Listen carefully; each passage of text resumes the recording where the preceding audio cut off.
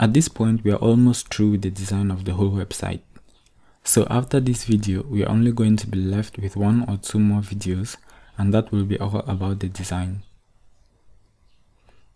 So our task in this video is to design the register or the sign up page. I'm going to open this on the finished project so that you can see what it looks like. So if you go to forward slash register, this is the page you're going to see and this is the page you're going to be designing. Alright, so to do that, let us go to our code base and in the root folder of our application, we'll create a file called register.html. We are going to fill it with some boilerplate code and the title is going to be register. Let's make sure we link to our CSS files in the head section of this file. So I'm going to open any file like index.html and copy a link to the admin star and the public.css files and paste it in the head section of our register.html file. Okay. The next thing I will do is we are going to wrap the entire page inside the page container as well. So I'm going to indicate with a comment here for page container. And then we will have a div with a class of default page container. And then inside that div, we will define the HTML for our form. But we already defined this form before in this course. So if you go to the admin section, slash admin slash users slash create, you're going to see the create user form in the admin section and it looks very similar to that uh, register form. So we are just going to copy the style for this and use it on our register page. So this file in our code base is found inside the admin folder, specifically under users, then create.html. So we are copying only the form element. So everything between the opening and closing form, we'll select and copy. And then we come to our register.html and paste it inside page container. Okay, let's just start modifying it from the bottom here. Um, the page or rather the button is going to be a long button that takes up the entire width of the form. So let's add a class of long btn and the text on the button is going to say register and we are not going to have links to the social media uh, profiles so I'm going to remove all three. Uh, I'm also going to remove the bio as well as the role okay so I remove all of them. And then at the top here the form should say uh, sign up in its title. And then after the register button we have to uh, add a link to the login page so we'll add a paragraph with the class of center and inside that paragraph we'll have a small element to make sure that the font size here is small. And the text is only going to say already have an account. You can log in. Okay? So this is just so that when the user for whatever reasons happens on this page they can when they already have an account they can quickly switch to the login page and log in instead. Okay so let us open this on our browser and see what it looks like. So we will go to um, register.html okay so because we still have the small box class the form has a small width. I'm going to remove this because we will control the width with a different CSS on the public section. Alright, so now the form extends to fill up the entire page container. So one thing I've noticed here is that this button or rather this image placeholder is a little bit too big. The same thing with the admin section.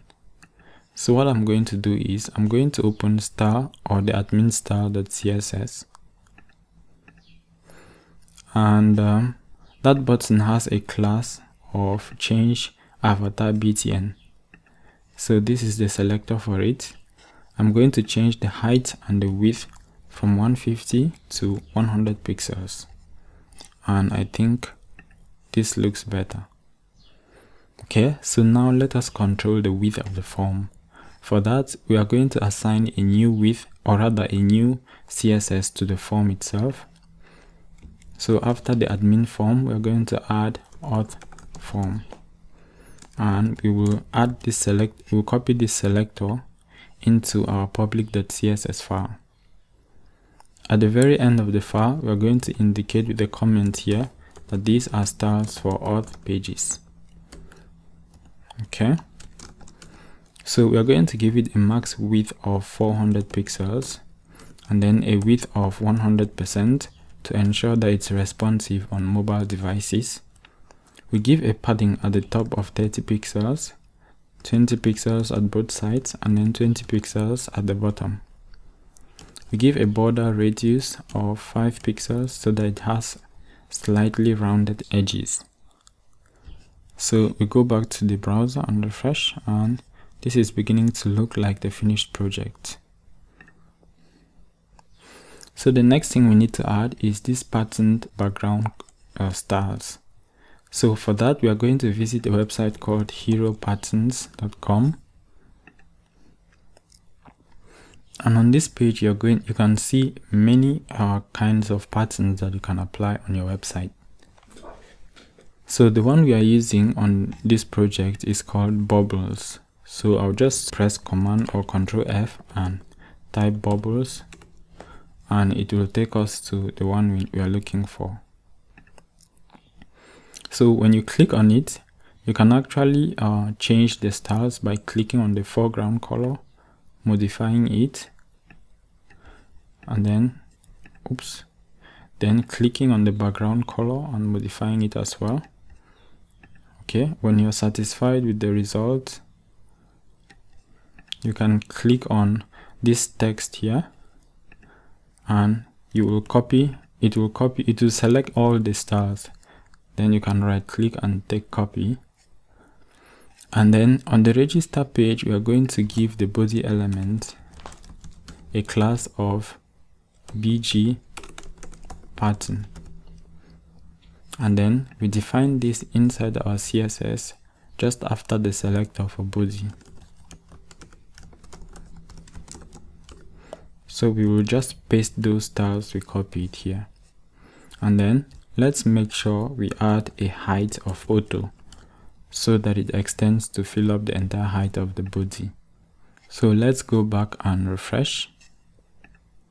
Okay. And it looks a bit like what we want.